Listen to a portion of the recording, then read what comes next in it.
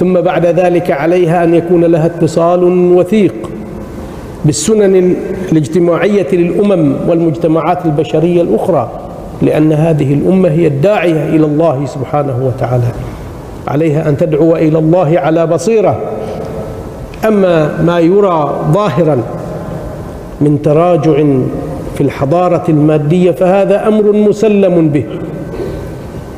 كم هل تسمعون في أقطار المسلمين وليس في أقطار العرب وحدهم من المسلمين أن دواء جديدا كل عام يتم التوصل إليه وإنتاجه في بلد عربي؟ أليس العرب والمسلمون بشرا يحتاجون إلى العلاج؟ أين هم من مسألة العلاج؟ هل يتوصلون إلى جهاز متطور بما يتصل بتشخيص الأمراض ومعرفة ما يجري فيها من تفاعل بينها وبين الجسد الإنساني وما ينبغي أن يطور له من أجهزة. قبل أعوام كان هناك ناس يتنافسون على سبلة لمن تكون. وحدث أن أحد الجيران الإخوة من الأصحاب ولد له ولد وفيه ثقوب في القلب. وبحمد الله تعالى أدخل المستشفى السلطاني وذهبت لزيارته ووجدت تلك الأجهزة قد أجريت له عملية. في مراحل في أيامه الأولى انظروا إلى ذلك العلم. كيف عرف أن ذلك الطفل به ثقوب في القلب بأي أجهزة؟ ثم كيف فتح القفص الصدري؟ ثم كيف لحمت تلك الثقوب؟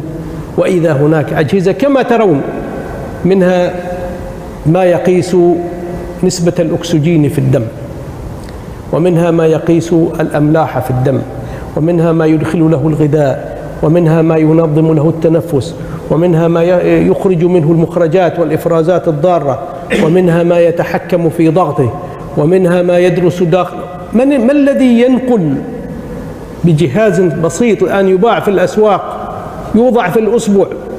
كيف يتحول الأكسجين في الدم إلى رقم؟ ما هذا العلم؟ ما يعني؟ أصبح الآن هذا شيئا تلقائيا قد لا يلتفت إليه. لكن أين نحن من هذا؟ ثم أنا يعني تلك الأدوية التي تصرف وتلك الممرضة التي لا تقف عنه لحظة واحدة. تساءلت هل الذين أوجدوا هذه الوسائل وهذا العلم وهذا الدواء وهذه الأجهزة وهذه النظرية الفلسفية في التعامل مع المريض في المستشفى يهيئهم الله للخلافة في الأرض أم قوم يزعمون أنهم مؤمنون وهم يختلفون على مكان لا يصلح أعزكم الله لنفايات ذلك المريض وأضرابه. الارتكاس الحضاري عندما يتم يتم متكاملا للأسف الشديد وهو نابع من الفكر الضيق المؤمنون يقول عنهم الرسول صلى الله عليه وسلم إنما المؤمنون إخوة. ويقول القرآن الكريم يحدثهم عن النعمة على المسلمين ليلتفتوا إلى الماضي.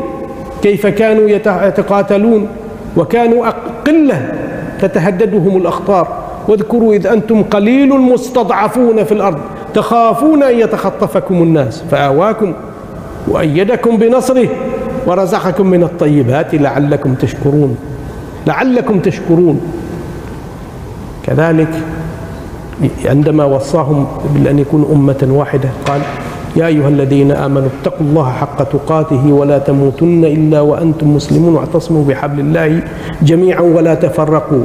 واذكروا نعمة الله عليكم إذ كنتم أعداء فألف بينكم فألف بين قلوبكم فأصبحتم بنعمته إخوانا. وكنتم على شفا حفرة من النار.